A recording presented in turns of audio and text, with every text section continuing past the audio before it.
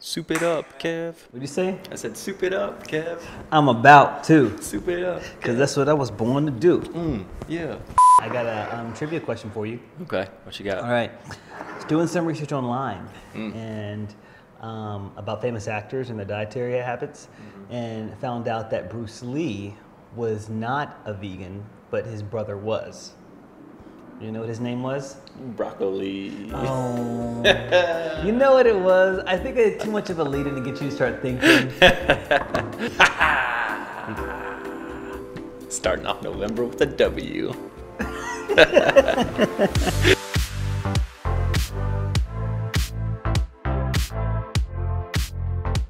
guys, and welcome back to the Fit Men Cook Kitchen. It is soup season, it's also the fall, so that means delicious, savory recipes to warm us up and to make us feel, I guess, comforted and making you feel like a lot more like home. So today we are putting a spin on one of my favorite recipes, and I'm pretty sure many of you love this recipe too. If you've ever eaten at this restaurant here in the States, it is the Panera broccoli cheddar soup. It is so good. It just, there's something about it, it just automatically puts a smile on your face, even if you're not even a fan of soup or cheese. Is that, is that a thing? Can someone not be a fan of cheese? So today, we're gonna work to find some ways so we can shed some of the calories at least by 30, 40% by substituting in a few of the ingredients. I think you're gonna love the recipe in this reimagined way of something that we just really love to eat um, during the fall time. So if you're ready to roll up your sleeves for this delicious cheddar chicken broccoli soup, then let's get started. You ready, Jesse? I'm ready. Are you ready, internet? Yeah, can we ready for you, fool? I just imagine that's what they sound like. I don't know, Everybody like, we don't sound like that, bro. Okay, the first thing, grab some broccoli. And what we're gonna do is just chop off the florets, just like this. Very easy. I'm gonna take some of the big parts, the big parts of the stem, toss those. What we're gonna do is just do a rough chop of them, especially some of these larger bunches. Let's prep our onion and garlic as well. Got my garlic here. Smash it, smash it, and chop it. I love fresh garlic. If you're a garlic lover, load it up. And then, onion. I'm gonna use some white onion. You could also use some yellow onion. The one I probably would not use is uh, the red onion this time, just because the flavors of the red onion I feel like a little bit too strong. Fire up a pot, place it on medium heat, and once it's nice and hot, I'm gonna add in a little bit of olive oil, and in goes the garlic, and in goes the onion. Yeah, we love that sound, we love that smell. While that's cooking, I'm gonna prep the rest of our ingredients. Now, this is also going to be a chicken cheddar um, broccoli soup. So I've got some rotisserie chicken here as a great time saver and also a good budget saver. I'm telling you, this is part of my weekly thing that I buy. I buy these because they're so easy to sneak into recipes, especially right now during soup season. And then we're just going to pull it apart. Just pull it in strips. And it should come apart super easily. We're going to add our chicken to the onion. Add in the broccoli now. Stir everything together, mix it all together. Now, let's add in a little bit of personality. Gonna add in some smoked paprika, and of course, this is soup season. Gonna add in a little bit of turmeric, my buddy, as an anti-inflammatory. It's also gonna boost the vibrancy of this dish as well. A little bit more flavor, we're gonna add in the everyday seasoning. This is an optional ingredient, you don't really need it, but I know it's going to really help to bring out much more of the flavor here.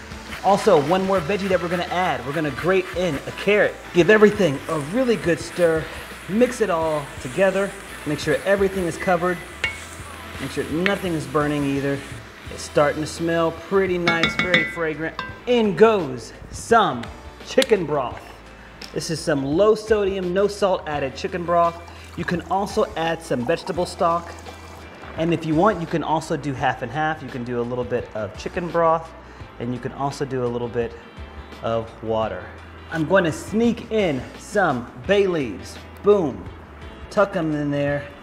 And then we're going to pop the top and then allow this to cook until the vegetables are cooked all the way through. We, we want them soft. We want them a little bit past crisp tenderness. Okay, so as this is finishing up, we're also going to add in the thickener. So a lot of people like to add in a whole bunch of flour, but instead of flour, I'm gonna be using a little bit of arrowroot. And if you don't have arrowroot, you can also use some cornstarch, or you could even use something like an oat flour if you're trying to go gluten-free. I'm not a gluten-free dieter, but I do like the fact that arrowroot is also great for digestion. Add in a few tablespoons of water to this, and we're gonna add this to our mixture once we add in the milk.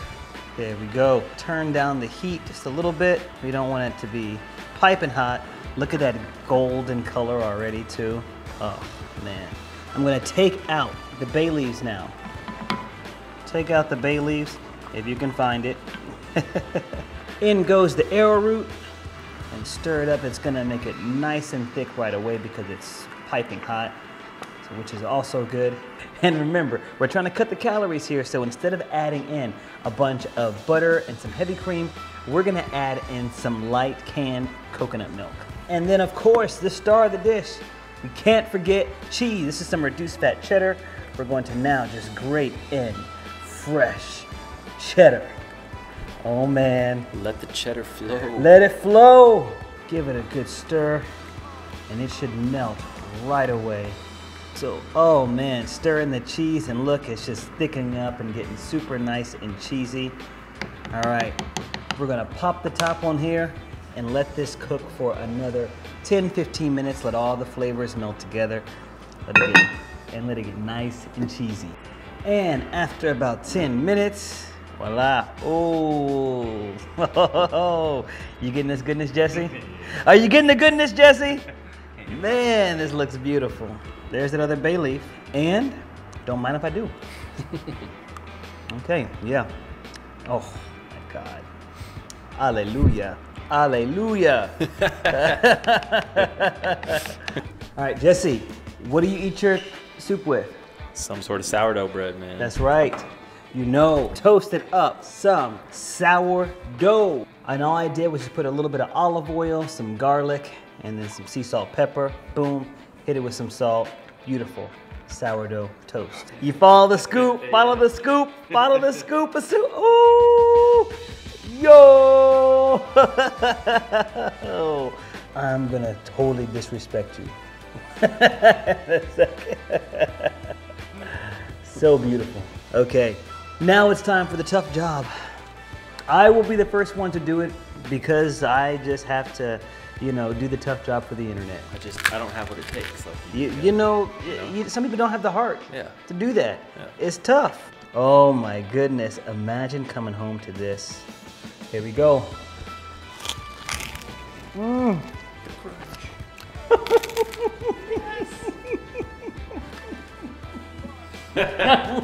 oh my God. yes, Lord. That is some good soup, bro. yeah. Oh, oh man. Oh, let that cheese fall. Disrespect it. I'm gonna need a whole bowl of that. that taste test is not gonna do justice. I need a whole. Give me a salad bowl of the soup, man, and a loaf of bread. Don't mind if I do. so, can we compete with you know with the Panera version of it? Can we compete with it? Maybe. I mean, maybe so, right? You know, we- we're gonna throw our hat in the ring. I love it. Um, I love this recipe. I love that we were able to shed a lot of the calories, but still keeping a lot of the good flavor that we love with this soup. So I hope that y'all go run out and try it. I know that I love it. I know that your family's gonna love it too. Also, comment below how you would customize this recipe. Just keep it calorie conscious. Watch out for calorie dense ingredients like adding in more cheese or butter or heavy cream or even um, full fat coconut milk. Those things are going to inflate the calories a little bit more. And while those are great for flavor, it does a lot with competing on making it a overall calorie conscious dish. Well, if you like videos like this, then I invite you to smash that like button below and remember to subscribe to the channel. And don't forget to ring the bell, y'all, ding, ding, ding, so that way you can be notified when we post hot new content here. As we're coming to the end of the year, we're gonna slow down some of the content that's been coming out to gear up for what's coming next year. So make sure that your alerts and your notifications are set because um, we're gonna be doing some things a little bit differently next year that I know that you're gonna love though. All right, y'all. Until next time, to keep it healthy, but of course, never ever boring. Boom! Bye, y'all.